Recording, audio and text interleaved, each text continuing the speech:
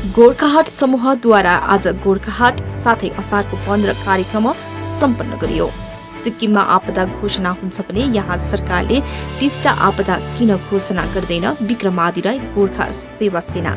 टिस्टाको जलस्तर कम्ती रहेकोले आज दार्जिलिङ अनि कालेबुङलाई जोड्ने सड़कमा गाड़ीको चलाचल देखियो। राष्ट्रिय राजमार्ग दसको विभिन्न स्थानमा पहिरो गएको थियो। जसको कारण राजमार्ग दिनभरि नै बन्द गरिएको थियो भने हाल सिलगढीतर्फ जाने सड़क पनि खुलिएको छ। खरसाङ नगरपालिका क्षेत्र अन्तर्गत विभिन्न वार्डहरूमा अविरल वर्षाको कारण पहिरो गएको छ।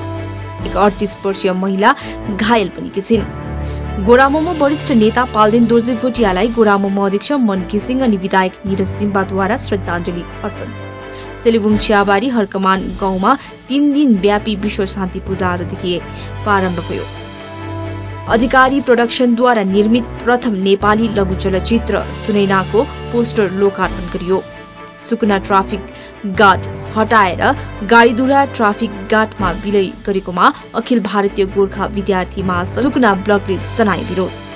सौरिनी बस्ती घुमाउने टार सार्वजनिक भवनमा आज स्वर्गीय खप्पनदास जन्म जयन्ती समारोह भव्य रूपमा पालन गरियो। असार पन्ध्रको दिन व्यस्त रह्यो बिजनबारी क्षेत्र अन्तर्गत रेलिङ कैजलेका कृषकहरू। टर्जम डाँडा गाउँ निवासी पैतिस वर्षीय क्यान्सर रोगी सचिन थापाको निम्ति सहयोगको अपिल गरिएको छ। नेपाली साहित्यको वरिष्ठ साहित्यकार एवं इसाईहरूका अगुवा रेभरेन्ट डाक्टर एडोन रोङ्गुङको स्मरणमा कार्यक्रम सम्पन्न भएको छ।